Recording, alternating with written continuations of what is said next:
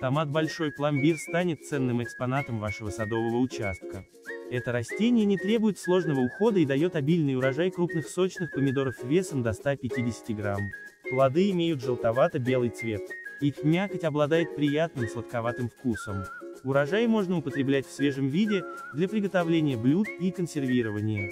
При выращивании томата большой пломбир, следует учитывать, что плоды не могут долго храниться. После сбора их следует сразу переработать. Рассаду готовят примерно за 50 дней до высаживания в открытый грунт или теплицу.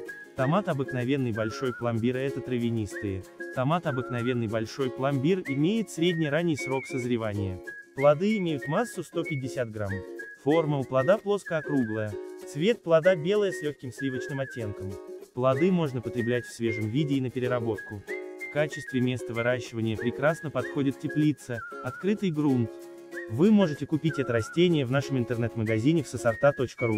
У нас огромный ассортимент семян, луковиц, рассады, саженцев и крупномеров. Доставка по всей России и СНГ. Для заказа перейдите по ссылке, которая находится под этим видеороликом, в описании. Лайкайте наши видео и подписывайтесь на наш канал, чтобы раньше всех узнавать про новинки российской и зарубежной селекции.